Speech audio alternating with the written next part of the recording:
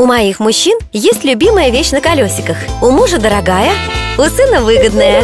Потому что коляску купили в кенгуренке. Если есть у вас ребенок, приходите в кенгуренок.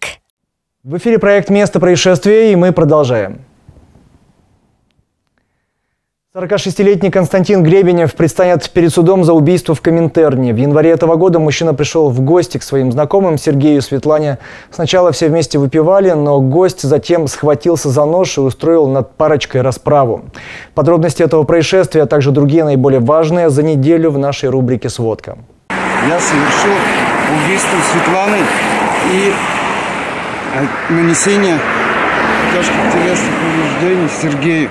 Все случилось 12 января в Коминтерне в этом доме. Константин пришел в гости к своим приятелям Сергею и Светлане. В тот момент 40-летние сожители выпивали. Вот так и сидел, то ногу подогнет вот так, то это. Я в основном пил пиво, а они пили водку. Вот.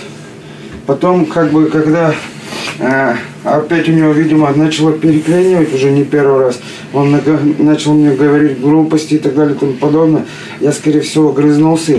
Ну и, и, короче, произошел конфликт. Константин обиделся на хозяина дома, схватил со стола нож и накинулся на Сергея. Ударил его в шею и живот. После этого развернулся и направился к выходу, где его пыталась остановить Светлана. Она меня начала хватать сзади и за это кричит, короче, и ну, и так далее и тому подобное. Константин ударил ее ножом 17 раз. Женщина упала, а сам он убежал. На попутках добрался до своего товарища и все ему рассказал. В тот момент в доме раненый Сергей пришел в себя и увидел, что его возлюбленная мертва. На место прибыли полиция и скорая помощь. Подозреваемого задержали. На 46-летнего мужчину завели два уголовных дела – за убийство и за покушение на убийство. Сейчас следствие завершено, дело направлено в суд.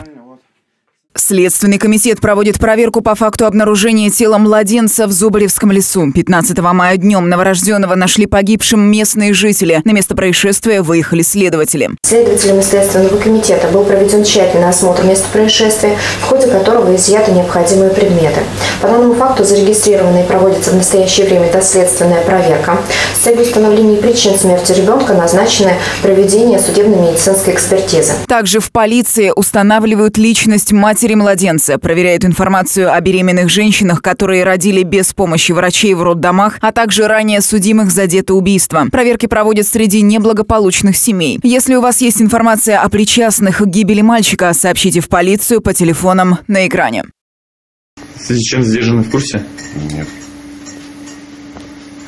Ранее судим? Нет. Злоумышленник из Яранска и его приятель придумали преступную схему заработка. Свою жертву они поймали прямо в общественной бане райцентра, избили мужчину и потребовали от него ежемесячно платить им 5 тысяч рублей.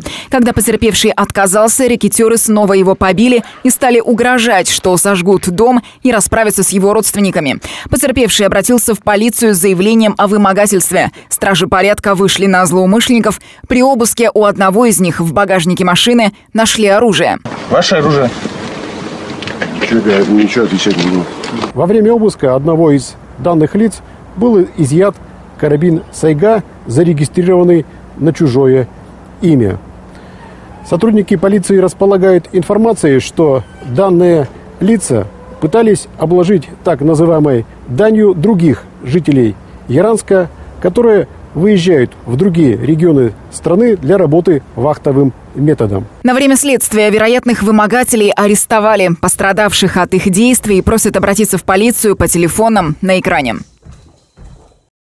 Полицейские разыскивают в Кирове подозреваемого в сбытии фальшивых купюр. Молодой человек 20-25 лет зашел в супермаркет, взял две бутылки шампанского и одну мартини и протянул кассиру 5000 рублей. Женщина проверила купюру, но подвоха не заметила и отпустила товар вместе со сдачей. Подозреваемый таким же образом разменивал подделки и в других кировских магазинах. Возбуждено уголовное дело. Если вы узнали молодого человека на видео, сообщите информацию по телефонам на экране.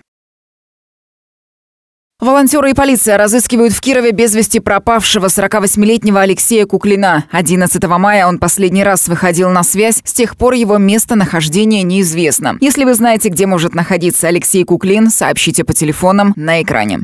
Алина Котрихова, место происшествия.